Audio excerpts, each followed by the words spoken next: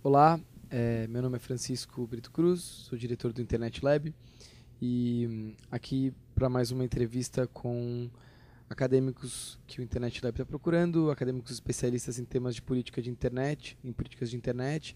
É, hoje a gente vai falar sobre direito ao esquecimento e eu tenho aqui é, Julia Pauls, que é especialista no assunto, e vou fazer entrevista junto com a líder, líder de projeto do Internet Lab na área de privacidade e vigilância, a Jaqueline Abreu. É, vou começar aqui fazendo a pergunta para a Julia em inglês. So, uh, Julia, in one of your interventions in the public debate about the right to be forgotten, you affirmed that, quote, America may look back at its condemnation of Europe's data protection rights of one of the moments when we lost our way, unquote. And recently, a team of researchers that is also uh, uh, have one of public figure in Brazil, Virgilio Almeida, which uh, is a former uh, chair of CGI. Uh, this group of researchers uh, uncovered the possibility of re-identifying people who have the made de-indexation requests, undermining quote the spirit of the Court of Justice of the European Union legal ruling. So, how do you understand the relationship between these issues and your conception uh, of what would be a right to be forgotten, and which disputes and interests are involved in defining the theoretical, theoretical limits of this new but impactful legal concept? Thanks, thanks very much, and really nice to be here with you both. Um, look, it's great to have an opportunity to talk about that um, recent paper. So this is a paper um, by Virgilio, a team of researchers at NYU, uh, China, and uh, in New York. And I got a lot, lot, of coverage out of a New York Times cover. I actually spoke on a panel at the CGI annual seminar with Virgilio and also the lead um, counsel for Google about this.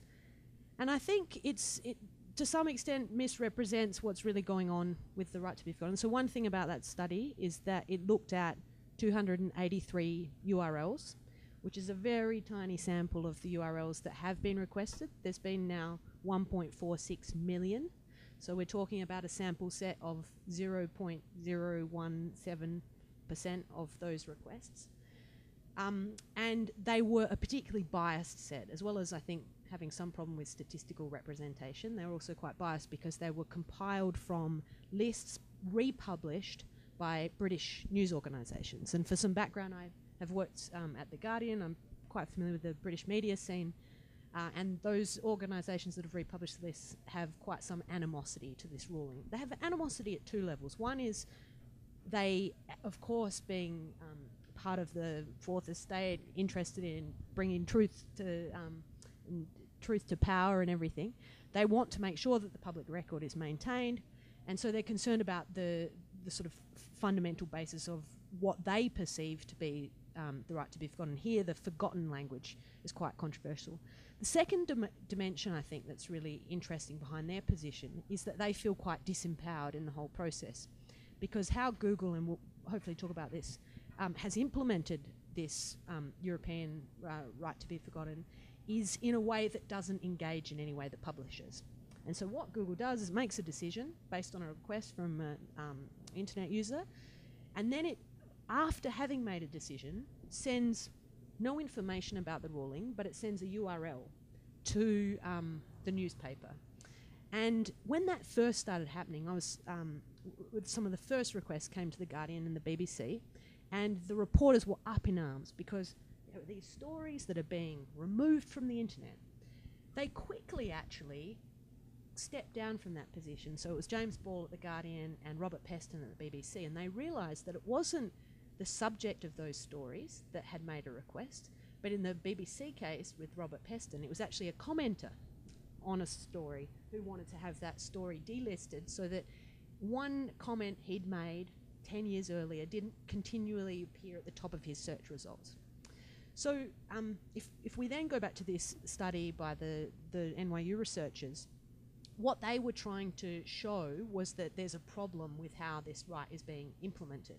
And they're also criticising the decision to, of Google to issue these notifications. And I think that what they missed in that is that part of the issue is that it disempowers publishers and it leads to misinterpretation.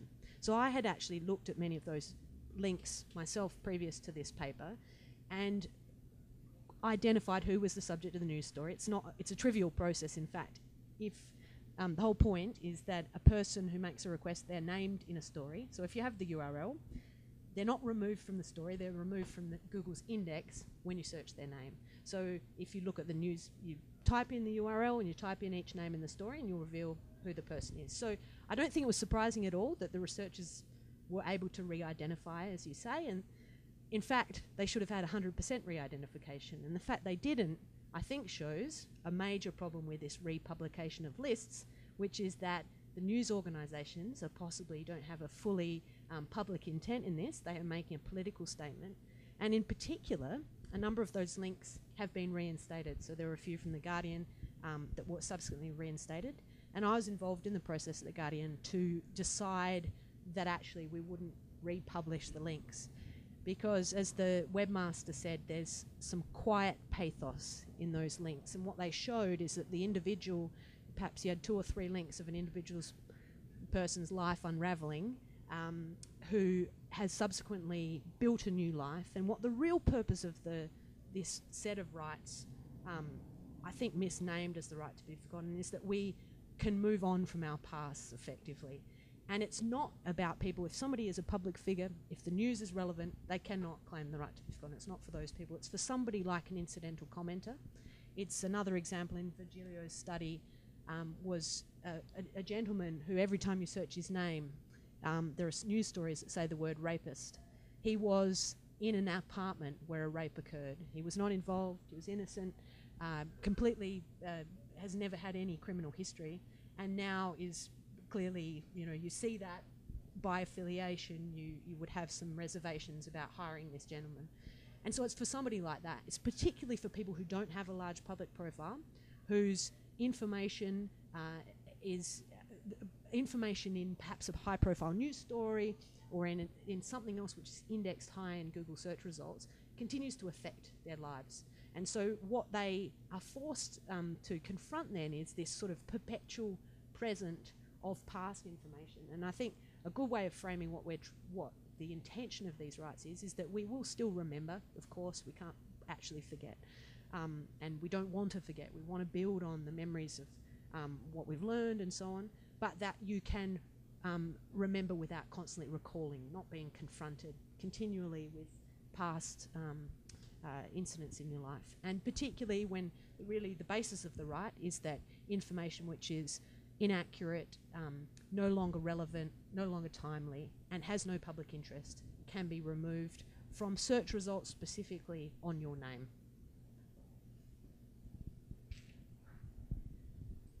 Julia, as you anticipated, the most uh, remarkable and well-known uh, case about the right to be forgotten is the Costeja versus uh, Google Spain case decided by the Court of uh, Justice of the European Union in 2014. Uh, having this in mind, um, uh, what have been the main outcomes and conflicts that arise from this decision in Europe? And despite Google's own interpretation of this decision, what, in your own uh, opinion, in your own view, do you think is the most appropriate way to handle this request, this, this de-indexation request? And what do you consider is the best way to um, um, protect the interests that the, the court decided to wanted to protect. Yeah, so it's been super um, intense, the implementation of the right to be forgotten. There have now been over 500,000 Europeans who have made requests to Google through a form it's set up one month after that ruling. So it, Google moved swiftly um, in, in taking on the obligations that it had under this ruling. There are actually some far broader consequences, I think, in terms of what this European ruling said about the application of laws 20 years, old, 20 years old to companies like Google. They have so far been relatively scot free in the um, data protection ecosystem, and one of the potential reasons why they moved so swiftly with the right to be forgotten was to stop any potential thought about what other elements of the core legal funding, which is that they are a data controller, subject to all sorts of obligations, including, for example, prior to a request in fact, considering data protection obligations. And there's various legal issues, think really interesting research questions around that. But so they implemented fast. The information that they gave to the public, I think, was um, quite limited and potentially misleading. So, so they triggered what was, I think, a, a largely unproductive debate at the very beginning, which was that, oh, look at all of these criminals and public figures and politicians who are um, raising concerns about the right to be forgotten. And indeed, on their transparency report, which they commenced about four months after they started implementing, they used they cited some examples of cases that they accept and reject, and they were predominantly scenarios with of an individual who was a public figure, criminal, and so on. A, stu- a um, based on uh, some work with a data scientist, Sylvia Tippmann, uh, we did a story in the Guardian a year after that, which disclosed that based on actually an error in Google's own um, behind its transparency report, the source code revealed how Google itself had indexed these requests, and it showed that less than 5% of requests, let alone those that are accepted, come from these categories that they had given prominence to. So I think that totally skewed the interpretation people had that this was, and, and quite rightly, we would have great difficulty with the idea that people who would be able to repress information that is of public interest, that is about criminal records, and so on. In fact, what it allows is really an alignment of what happens online with what happens offline. So the cases involving criminals who do have a right to be delisted are those who meet local laws about rehabilitation of offenders, say.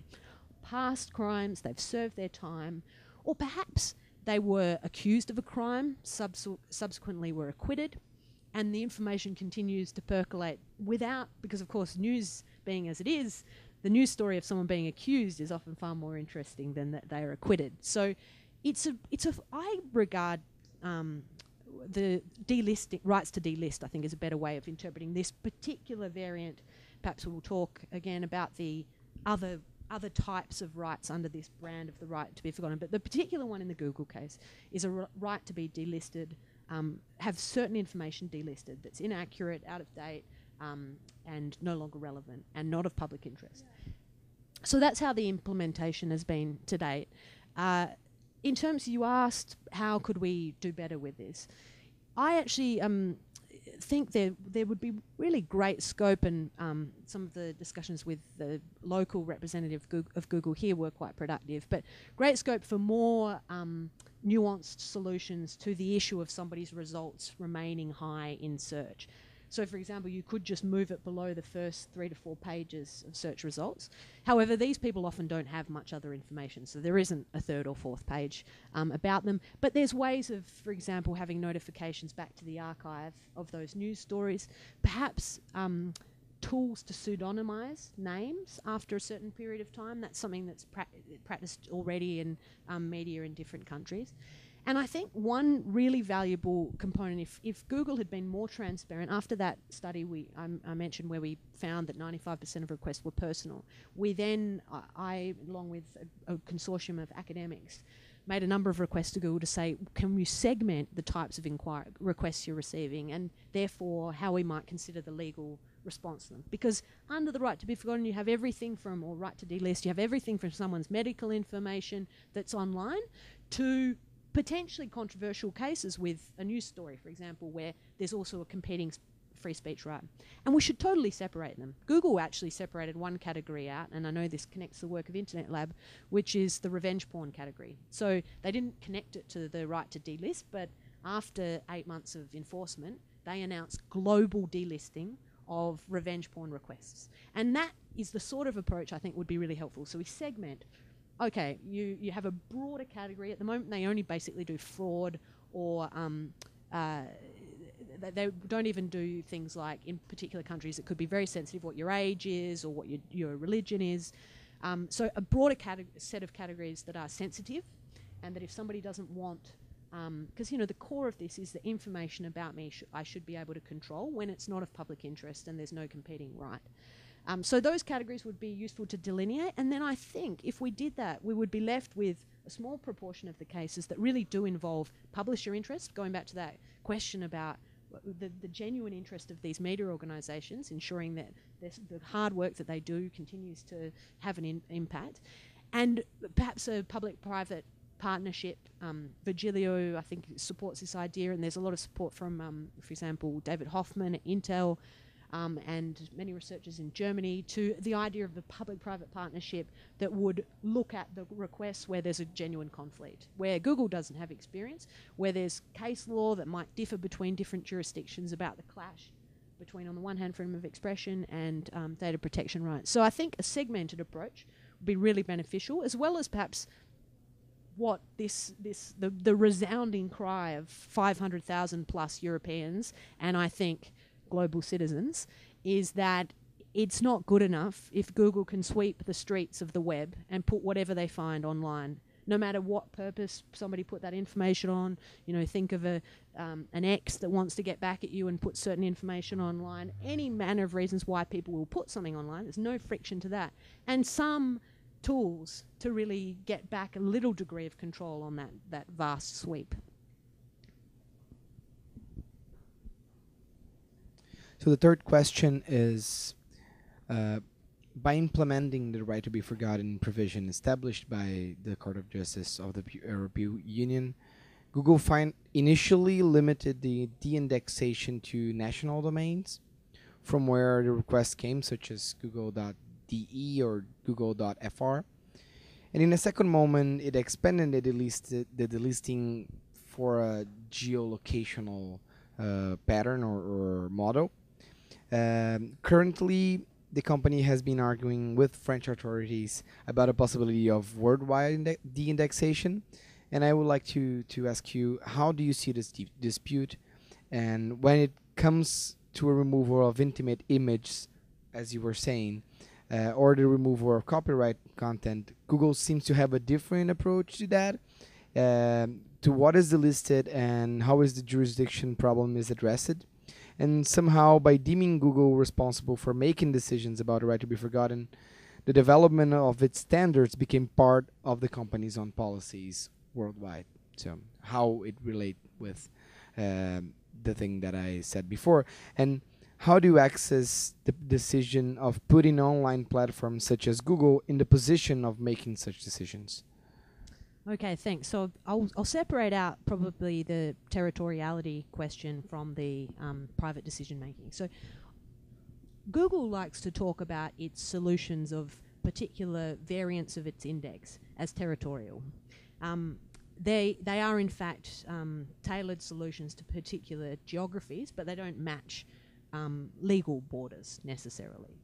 Um, th so this this is a, a bit of a um, lightning rod debate on a, on a bunch of other issues that Google is concerned about. In particular, and I think it, it is legitimately concerned about, how it can ensure that it um, complies with laws and, and rulings that are really addressing properly founda- founded legal rights and other situations where the law could be abused and, for example, the public won't have access to information and so on. So Google is constantly aware of the broader implications of how it responds to particular legal requests.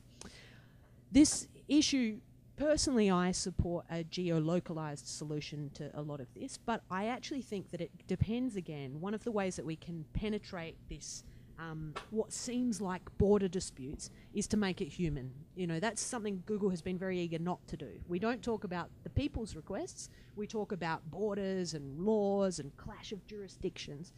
And if we take it we go back to the people, we might say, well, look, if your case is about revenge porn or if your case is about medical information that should have never been online, are you really telling me we have to have a geolocalized or local solution? No, I think we should have rights that um, are effective wherever you're coming from. Other cases, it may be that a local solution is enough. You know, somebody might be affected just by the proxim that information within a particular context think of a school kid, you know, and the way that that information from their schooling time can affect them later on. They may not worry about it later. You know, you're particularly sensitive to things at a certain age. So I think that if we segment it, we might find, um, and this is actually put really nicely in a paper by um, two researchers from the Catholic University of Leuven, um, Brendan van Alsenoy and um, and uh, one of his colleagues, and they put the argument based on public international law that you can um, just, you need to look at the particular rights and that you would then get to a position where some rights are global and many are geolocalized and then maybe somewhere country specific um, is appropriate. So that that's my way through um, that mess. I personally think that I understand the, the position of the some of the European authorities, particularly the French, which currently has leadership of the um, European data protection agencies, to say, look, we're not going to just take Google's ver version of territoriality. We're going to look at real um, proper implementation. But I think that what a big problem for the DPAs is that they, like us, don't really know what these cases are about. And I think before they start telling Google to do it globally, we need to know what those cases are because there may be some of them. I think that Go Google has no interest in delisting information that isn't strictly within the bounds of the law. But it would be nice to know, right? I mean, that's that's what everybody's concerned about, and I lay that firmly at the feet of Google. Um, in many of our inquiries, they say we simply do not have this information, and I fail to see how the world's self-proclaimed organizer of information can't do something um, which is between 20 odd examples on their transparency page and 500,000 requests, some, some more granularity. So the other question you asked in addition to um, territoriality was about this sort of Google being the decision maker. And this is really, I think... But X an example for any kind of private yeah, company exactly. making decisions. And this is such an interesting one for those of us who work in tech policy because Google, on the one hand, is saying we shouldn't be the decision maker, and on the other hand, is doing this in a totally opaque fashion. They're not inviting in any independent authorities. They're just getting, you know, they're doing it. My personal view is they perhaps didn't know what they were getting into. At the beginning, maybe they set up a process, they didn't think about it too much, and they were being a bit facetious and said, let's see what happens. We'll show you what happens when we delist. And then everyone was like, actually, this is good, you know, and now they're stuck with it.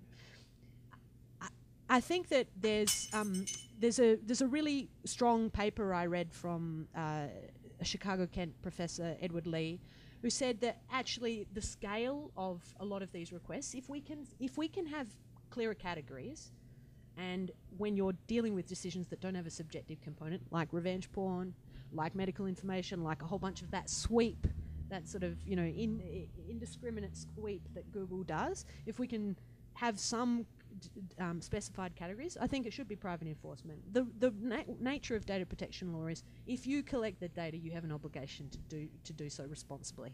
And you have an obligation to meet the interests of data subjects in their own information, that it's properly processed. And that's including this reprocessing.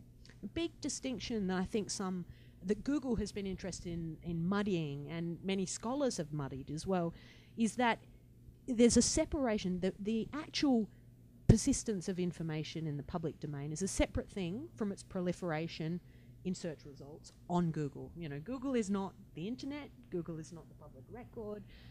The proliferation of information so that it's perpetually present is the specific issue that this Costeja ruling is addressing. And the other suite of issues about information, public domain, and, and so on are, are quite distinct. Julia, you just mentioned that there are different kinds of requests that are branded as right to be forgotten uh, claims. Uh, at the end of 2014, the Brazilian Constitutional Supreme Court um, announced that it would decide to right to be forgotten cases. Um, both cases were requests uh, to television stations um, not to broadcast TV specials about famous crimes occurred decades ago. Uh, the claims stated that those facts were not relevant anymore and that it would only hurt uh, the dignity of those people involved. Uh, in the first one, the family of the victim claimed that the exposure was baseless and th that the case was not relevant anymore. In the second one, uh, the defendant was uh, acquitted and uh, which based his claim that the re-exposure could um, cause him an unjustified harm. there are um, were also arguments making parallels with the logic of the criminal justice system, uh, in which after a person is freed of charges or after a period of time following certain charges or a crime, uh, their records are clean and the, their past is no longer considered relevant to the justice system. Uh, however, those cases uh, do not involve the internet environment, uh, even if some news sources do not uh, make this distinction. Uh, is there a difference between claims to be forgotten online and offline? Right. So um, this is really interesting. Separately across the planet, um, countries with a civilian um, law tradition have developed out of um, personality rights, dignity, and um, intimate intimacy, and so on. Uh, these cases about what they call, I think it's droit d'oubli. It first came in France, right to oblivion here, um, and that's what these two cases, the the global cases, I think you're referring to, are, are about. They um, they are as they're of separate legal origin, which is interesting to the Costeja case we've been talking about. The Costeja case comes out of um, data protection rights to rectification um, uh, and to erasure, which are part of data protection laws. More than 100 countries in the world have them. Uh, Brazil may, at some point, uh, have them. You have some of those rights, but probably not as strong rectification rights. So that's statutory based, and this is um, constitutional law or other basis in rights of dignity. Um, I don't think. I think so. If there, in theory, you could have those rights that apply equally to both the offline and online domain, whether it's case law origin or statutory origin. Um, so I don't think there's a distinction there. There is a distinction in terms of what the um, how extensive the um, data erasure is. So, what the intention of the um, online search engine specifically requests is is to introduce an element of obscure of, of obfuscation and obscurity to that in information. It remains as ever in the public record, but it's about the continued um, prominence of information. These requests, as I understand it, are for that information not to be um, again given uh, some presence in an original source.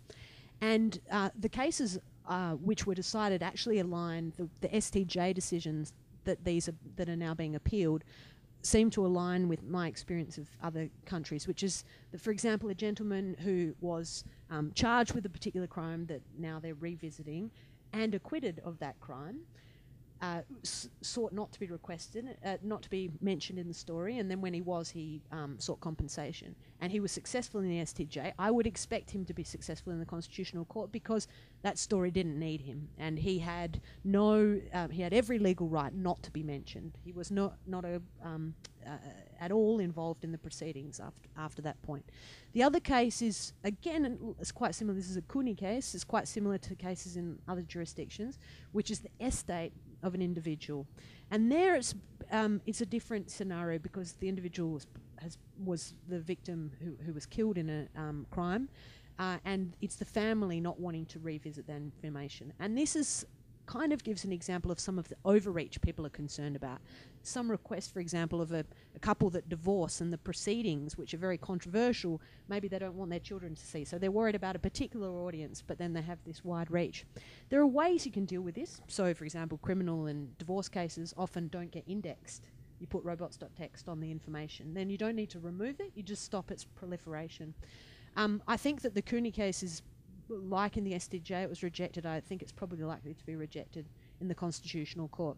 The interesting question will be whether the court, um, conscious of the debates about um, this other brand of delisting rights and the popular um, conceptions of the right to be forgotten, seeks to make particular distinctions in that vein.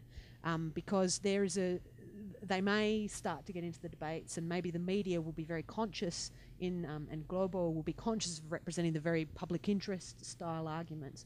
But I think that, particularly for the gentleman who was acquitted, that is a core um, uh, right to oblivion case. Of course, you can't remove the news reports from 30 years ago, but you can stop news stories that continue to harm somebody who really wants to just move on with their life and has every reason um, to do so. So, uh, the next question is also about our local or at least regional context. Mm-hmm. Uh, in Latin America, uh, over the past decade, there has been a heated discussion about the need of restoring the memory of what happened here during dictatorship periods, uh, in which some countries suffered from heavy censorship from some people that were subjected uh, to serious human rights violations such as unlawful and organized torture and ex execution, execution practices. So many victims and their families seek rec recognitions of these facts. However, in the eyes of some legal scholars, and I quote one, uh, the professor Eduardo Bertoni mm -hmm. from Buenos Aires, Um, so these legal scholars, those they they may see that those demands are in conflict with the amnesty uh, given both to the state violators um, and to the underground political organization outlawed at that time.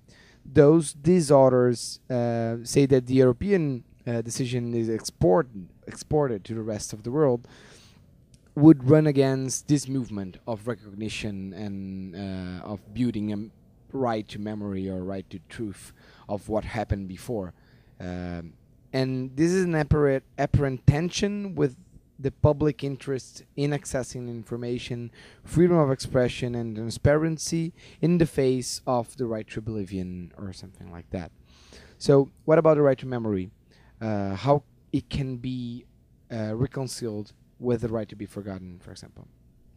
Right. Yeah. Well, so I think this is really important because I, I've I think that this framing of forgetting sets us up then to say, what about the right to memory? And I think that we, you know, memory is the foundation of humanity. We absolutely need to remember. Um, I think though that that's probably we if if we're talking particularly in this search engine context and so on, I would separate memory from what's on Google, for example. Um, I v- I'm very aware of the different um, envir- different historical um, environments in which this dis- this debate is being discussed. I think it's really important that um, in Brazil, in Argentina, that the discussion is owned locally and it's considering um, the particular the, the robustness of the legal machinery, the robustness of the tools, and particularly here, the, the, the core um, uh, lever that we have in the right to be forgotten is the public interest defence. So people who have been granted amnesty, there is a continued interest, public interest in those stories being told, invest, you know, the understanding. It's that there, there's a particular legal restriction on what can happen to those individuals. Doesn't stop you investigating. Doesn't stop, you know, a continued um, rigorous journalism and so on. So I think that that is not at all in uh, a conflict with rights, data protection rights, and particularly rights of delisting and so on. I, I don't see personally that conflict. I understand that depending on the strength of the legal machinery and the people who are implementing it, it could be misused. And I think that's why we need really strong safeguards. We need transparency about how the right's being applied, to what cases, and then you can you can safeguard against some of these potential abuses. Um, research from Internet Lab suggests that courts have been very deferential to reputational rights such as honor or and image uh, when it comes to freedom of expression here in Brazil. Uh, politicians represent um, a third of the plaintiffs in civil cases involving online humor, uh, usually suing users um, for damages. Uh, in 50% of these cases, um, courts have sentenced users to pay damages, considering that they uh, that the reputation of the politicians uh, had been harmed. Um, meanwhile, numerous bills that have been introduced in Congress rely on reputational rights uh, as a foundation for uh, implementing the right to be forgotten. Uh, using broad language uh, such as outdated or irrelevant information, these bills might open um, the gate for a flood of uh, lawsuits from politicians seeking uh, removal of content that might hurt them in the future um, elections. Uh, considering the stance that courts had been taking in such cases here in Brazil, what would would you say are the main things uh, to keep in mind when thinking of legislation to implement uh, a right to be forgotten here in our country? Yeah. Well, thanks. This connects a bit um, to Chico's question, and I really commend that work that the Internet Lab's done. It's fantastic. I think that sort of it's exactly the sort of contribution that we need. That empirical, rigorous, largely independent view on everything um, is really important, and then we can actually see this. Again, it goes to the lever of the public interest, right? Because my conception of the right to be forgotten is that these politicians are not even in they're not even in the running. They don't even get up because there's a public interest in unless the information and we must concede that there are some components still of a politician's life that should be private, but it's not anything to do with anybody's opinion about them politically. That is open open for the masses. That's how it should be. And that should be if anyone tells you that the right to be forgotten is something else, then they're missing the point. I do think it's a very it's very interesting what you say about this um, the the regard had for um, personality rights, reputational rights. And this is something that I think scholars who are looking at the right to be forgotten from contexts where this is foreign, so the UK, Australia, Canada, um, the US, they, they don't understand and they're concerned about drift um, and how, how far this can go. I think that if, if um, there are some bills at the moment far too broadly drafted about um, right to be forgotten specifically, and I think that they raise a lot of these concerns and dangers. And I think it needs to be shifted back to what the core domain. Who are those 500,000 plus people in Europe who are making requests? They're ordinary people. They are not. They have no public profile, and they're victims of algorithmic failure. They're not, you know. So that's what this is about, and this is about meaningful data protection rights so that the building blocks of my life I have some degree of control when they when they are used against me because somebody holding those keys to my life and using them wrongly can really affect you for a long time. So I think that, that that's a really um, it's probably a clarion call to the um, the digital activists and academics to ensure that the core of this right is uh, it, you may actually not need distinct legislation. I think these constitutional cases, um, it's important to think about what dimensions of that are positive. There's actually, I, I found that the, the case law from the lower courts was actually very promising. It really sort of elaborated it effectively. And there's case law from um, freedom of expression, positive case law, 150 to 200 cases now in Europe based on litigation from Google, which are very pro freedom of expression. In those cases, should reassure anybody who is concerned that what this right could do is exactly what you say get um, allow politicians to sue ordinary internet users. That is not what's going on here. Those people are comprehensively being rejected in their requests, both by Google, by data protection authorities, by courts. And so I, I really don't think that's what this is about. But the, the essential thing is to bring back that humanity into the debate. And that's the thing that we all have a challenge. You know, the, that's this data set that's private. It's Google's data about what the core of these cases are. We continue to strive for getting that information out. And from there, I think we can build a case that people would understand in the course of things. In fact, probably if you talk to anyone and think, oh, sure, you know, if they do a sweep and they get some inaccurate information, something that's really harmful, or something that just, it might not even be harmful, but it shouldn't have been there in the first place, that you should have some rights. So I think claiming that back to just what we all can understand, we can all understand youthful, you know, activities that you may want to move on from later, um, and just information that particularly is of a sensitive nature and uh, and really should should be somehow not given the prominence that it is in, in Google search results. Thanks. Thank you very much, Julia. Obrigado. Julia, até a próxima.